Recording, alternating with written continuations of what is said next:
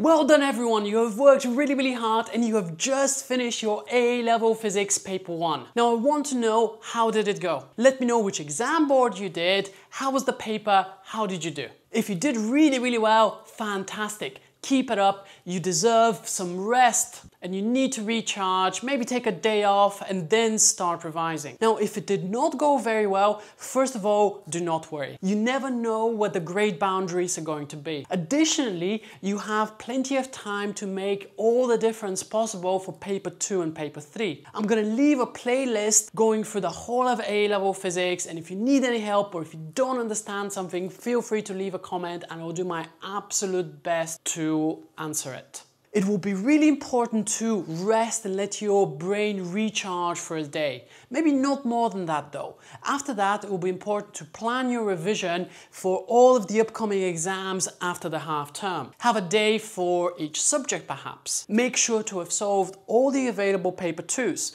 Now, it can be a little bit tricky to find a balance between paper two and paper three. What I recommend perhaps is spending a day or two on paper three in the beginning and then moving on to some paper twos. I also recommend going through some of the legacy papers that you should be able to find pretty easily on Physics and Maths Tutor, or if you're doing Edexcel, I think they're on the Edexcel's website. Either way, well done. One of the exams is down, fantastic. And if you are revising, I'm going to leave a link with some tips on how to structure your revision right over here.